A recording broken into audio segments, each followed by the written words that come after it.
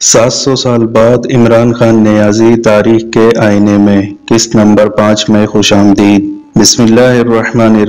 अस्सलामुअलैकुम। वो मौरखीन जिन्होंने हेबत खान नियाजी को फ़ातह कश्मीर बनाने की भोंडी कोशिश की।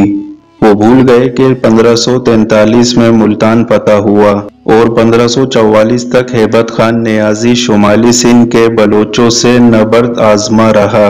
वो पंजाब की हुक्मरानी के दौरान सिर्फ़ एक बार अपने सूबे से बाहर निकला और रायसीन के किले के महासरे में शरीक हुआ। फतेह खान जट की तरह शेरशाह ने पूरन मिल से भी अमन का मुआदा किया। और बे हथियारे पूरन मिल को सारे खानदान समेत हेबत खान न्याजी के हाथों कत्ल करवा दिया। दूसरी बार वो इस्लाम शाह के खिलाफ आया और 1548 में कश्मीरी राजपूतों के हाथों कत्ल हो गया। चक तारीख पर नज़र डालें तो पहला चक सुल्तान गाजी चक पंद्रह में बरसरे इकतदार हुआ और पंद्रह तक हुक्मरान रहा। ये वो ज़माना है जब हेबत खान पंजाब में अपनी गिरफ्त मज़बूत कर रहा था और पे दर पे बलोचों की सरकशी से नबर्द आजमा था। ये कहना कतन गलत है कि हेबत खान ने चको को इकतदार दिलाने में कोई कोशिश या साजिश की। अमीर अब्दुल्ला लोकड़ी और डॉक्टर लियाकत न्याजी की किताब, तारीख मियाँ वाली और मोहम्मद इकबाल खान ताज़ा खेल न्याजी की तारीख। नियाजई के अलावा गजट ऑफ़ मियाँ वाली 1915 में दर्ज वाकयात की कसीर तादाद रिवायत पर मबनी है, या फिर तारीख फरिश्ता, मखजन और अहमद यादगार की तहरीरों से मवाद हासिल किया गया है।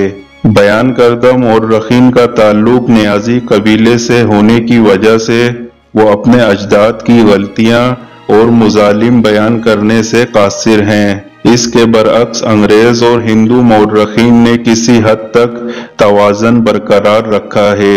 जादूनाथ सरकार, कालाकार नचन कानून गो और डीसी सरकार की तारीखों में सच्चाई का अंसर मौजूद है। कानून गो ने तहकीक के हर पहलू को उजागर किया है और अपनी गलतियाँ भी तस्लीम की हैं। आइन अकबरी 1988 के मुताबिक न्याजियों ने हामियों और अकबर से दोस्ताना ताल्लुक पैदा कर लिए और पंजाब के शुमाली मगरबी इलाकों में न्याजी फिर से आबाद हो गए।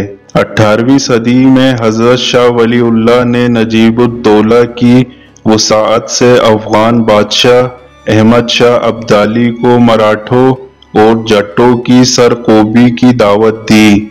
आपने लिखा कि मराठों के खात्मे के बाद किला जात जट पर हमला किया जाए और खुदा की मदद और नुसरत से इस फितने का खात्मा कर दिया जाए। अफगान और मराठा लश्कर 14 जनवरी 1761 के दिन पानीपत के दरमियान में सफ़ा आरा हुए। दो दिन की खून रेज लड़ाई के बाद मराठा शिकस्त खाकर मैदान से भागे तो अफगानों ने उन्हें घेर लिया।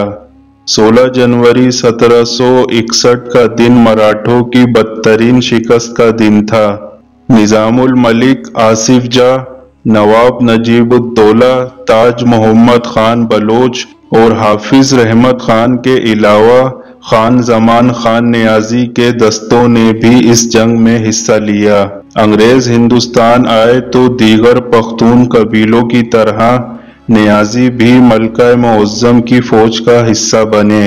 पहली और दूसरी अफगान जंग में नियाजी ब्रिटिश आर्मी में शामिल रहे।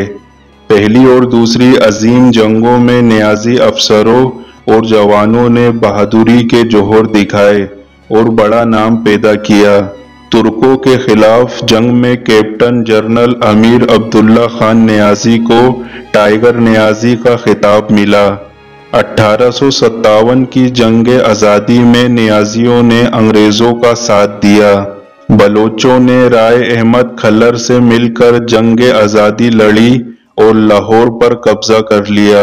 मुल्तान में वाकिया मूसा पाक शहीद के मतलुई पीर साहब गेलानी ने पेशन गोई की कि उन्हें ख्वाब में इशारा हुआ है कि अंग्रेज़ की फतह होगी। इस पेशन गोई को सारे पंजाब और सिंध के इलाकों तक फैलाया गया, जिसके नतीजे में पीर साहब के मुरीदीन, जिनकी ज़्यादा तादाद जुनूबी और वस्ती पंजाब में थी उन्होंने राय अहमद खान खलर का साथ छोड़ दिया।